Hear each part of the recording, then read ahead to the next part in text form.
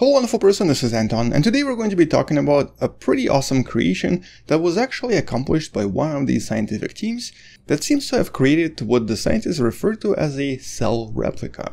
The tiny little thing you see right here that seems to mimic a typical cell, at least to some extent. It's able to absorb and it's also able to release a lot of different particles. Something that up until now was more or less impossible. So let's talk a little bit more about all of this and let's actually discuss why this is probably somewhat important. First of all, for many years now the scientists have been trying to create these so-called artificial cells or artificial life. And even today there have been quite a lot of different successes in trying to create something that is able to mimic life to some extent.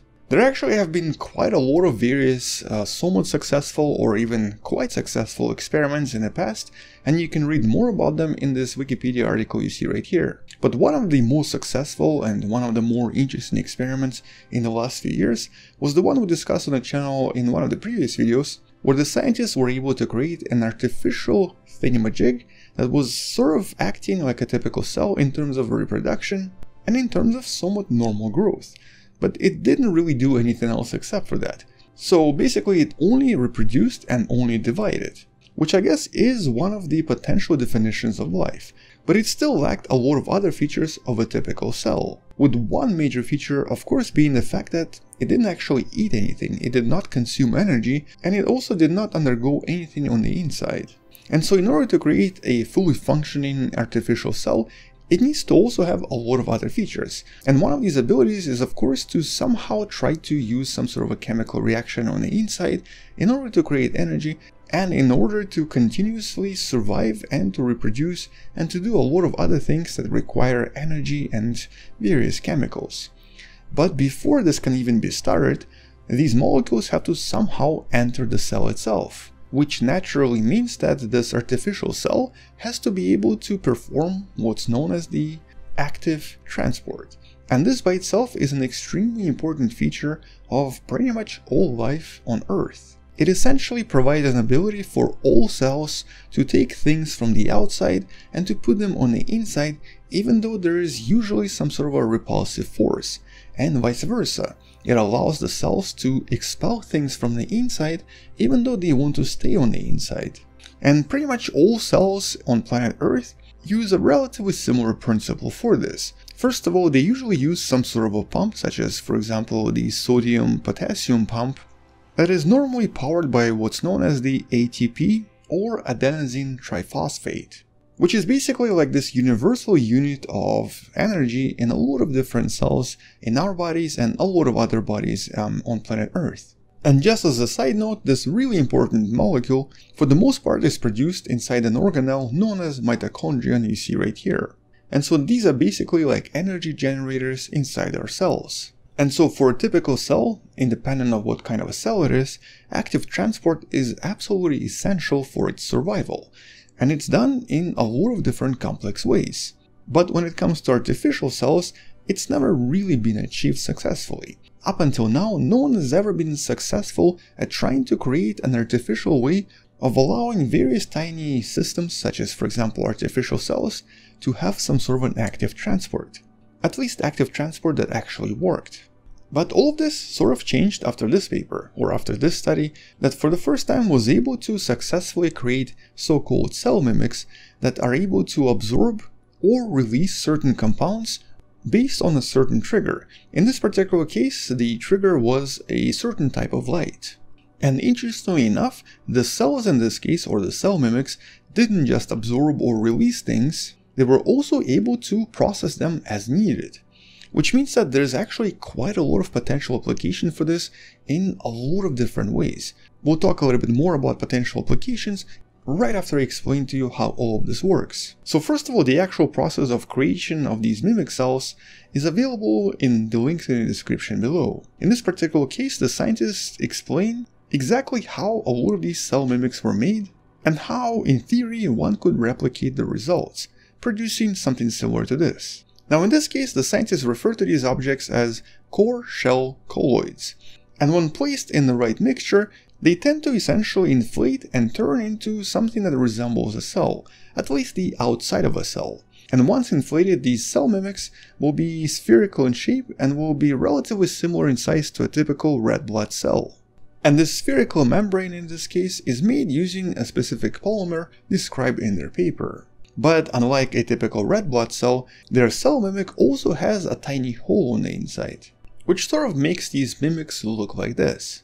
And depending on what exactly is being absorbed, the hole itself can also be different in size, which means that these mimic cells can in theory be used for a lot of different purposes and can be used to absorb very specific substances. But this particular hole, or this nanochannel as the scientists refer to it, is the main principle for the active transport. This is how the matter is exchanged and how it's able to imitate the active transport inside a typical cell.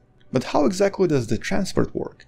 There's no ATP and there's obviously no mitochondria. And so to make this work inside this hole, the scientists also added a very specific chemically reactive component that usually is activated using various types of light. And when certain frequencies of light hit this particular component, it ends up triggering a chemical reaction that turns on this pump, allowing it to either suck in or suck out certain materials in essence creating active transport. But when the light is switched off, the active transport stops accordingly. And interestingly, the actual videos of this are really brilliant. They sort of show you how all of this works. And so in this case, it becomes quite obvious that the cell mimic is very very good at absorbing things once there's light. When there's no light, it doesn't do anything. And so this is actually a really interesting discovery or a really interesting creation that potentially has a lot of different applications. One of these applications that have already been explored in this particular study is absorbing various somewhat dangerous bacteria. So for example, in this case, these cell mimics are able to actively absorb E. coli bacteria. They're eating them and they're eating them to the point where the bacteria stay on the inside and are never able to leave again. And the potential applications here are absolutely limitless.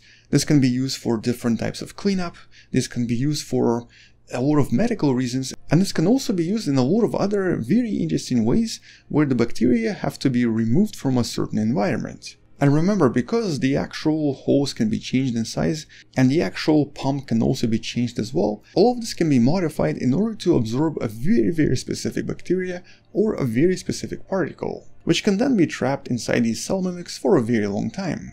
Or they can also be processed as needed. Or something entirely different can be done.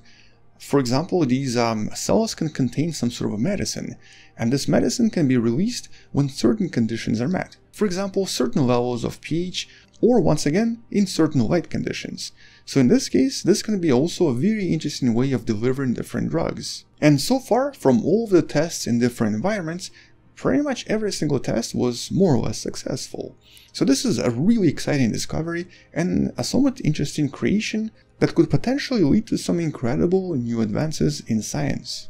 But I guess what makes this really exciting is really the fact that a lot of this can be easily controlled with simple triggers, things like illumination or changes in pH. And these particular cell mimics can easily capture, concentrate, store, move around, transfer, or deliver various types of molecules to various locations anywhere. Somewhere in the body, somewhere in the ecosystem, or from one body part to another. So this is an absolutely incredible discovery. Or I guess not a discovery, but a creation. A creation the scientists refer to as the hollow colloids, or hollow colloids with a micropore to be more exact. And since the actual production, mixing, and modification of these uh, microcolloids seems to be more or less accessible to many different labs around the world, it means that in the next few years, in theory, this could lead to a lot of different advances. Now, we're still probably not going to be creating any actual artificial cells just yet, the cells that are able to do everything a typical cell can, but one step at a time. If we combine a lot of the different research from a lot of different studies, the scientists will probably get a little bit closer to creating something absolutely incredible. Now, is it going to be dangerous? Probably not. A lot of these cell mimics have an extremely limited ability to do things, and they also have very limited lifespan, but their ability to make our life easier and to possibly create incredible medicine is really the reason why a lot of this is done today and why a lot of scientists are so excited about the prospects of having an actual artificial cell. But I guess what makes these particular artificial cells interesting is that pretty much nothing in this is in any way borrowed from anywhere in nature. All of this is entirely artificial. And so in that sense, this is actually as science fiction as it gets.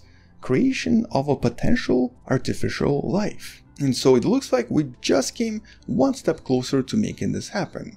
And so if one day we're able to create some sort of an artificial multicellular life, it's very likely going to be based on concepts from this particular study. The study that as always you can find in the description below. But I guess until someone else creates something even more impressive, or until we discover something else in regards to artificial life, that's all I wanted to mention.